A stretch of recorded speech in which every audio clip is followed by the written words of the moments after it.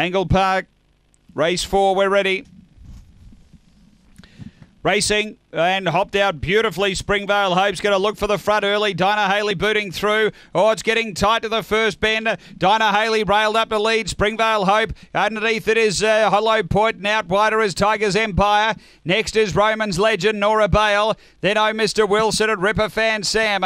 Off the back it's Dinah Haley. Out by three on Hollow Point and out wider Springvale Hope runs on. Up to the turn. Dinah Haley in front. Springvale Hope got a bump charging through. Roman's Legend late. Roman's Legend grabbed Dinah Haley right on the post. Uh, then Hollow Point from Springvale Hope. Next is Nora Bale, Ripper Fan Sam, Tigers Empire, and Oh Mr. Wilson. The time here is 30 and 51.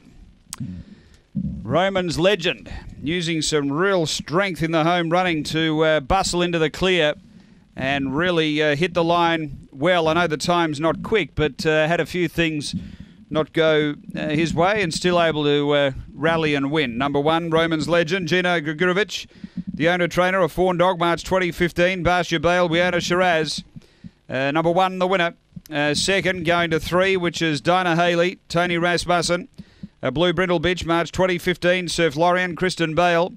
And uh, 10 Hollow Point, uh, Roderick Seep, a Black Dog, November 2014, Spring Gun Transcendence. Numbers are 1, 3, 10, 4, 4.